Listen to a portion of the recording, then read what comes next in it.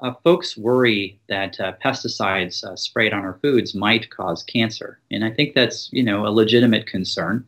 Um, the Food and Drug Administration tells us that the pesticides that that are approved to be used on our produce, for example, um, and in the dosing that's typically used on our foods, do not increase the risk of cancer in any way uh, in terms of any convincing studies.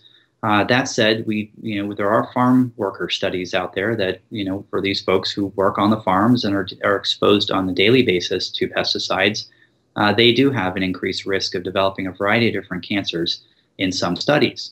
Uh, so that would be suggestive that maybe there is a direct linkage uh, between some of these pesticides, um, at least in higher doses perhaps, and the development of a variety of different types of cancers. My recommendation is uh, whenever possible, try to buy foods that are not sprayed with pesticides. So that would be a labeling that would say organic. If you can afford organic foods, that would be my recommendation. Um, otherwise, um, one of the things you could also do is go to one of my favorite websites, which is the Environmental Working Group, or ewg.org, and look at their list that they produce each year called the Dirty Dozen and the Clean 15. And what you can do is you can find the, the produce that are on the uh, dirty dozen list, those are the ones that are considered the most toxic of them. Those are the ones that would have most of the pesticide residues. And top of that list, by the way, is an apple that's supposed to keep the doctor away. So what I would do is I would buy my produce organically from the dirty dozen list, and then they have another list called the clean 15.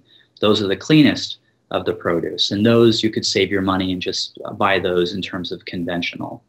So again, whenever possible, if you can afford it, uh, try to buy organic uh, because of the toxic exposures that, that hopefully will be less in those products.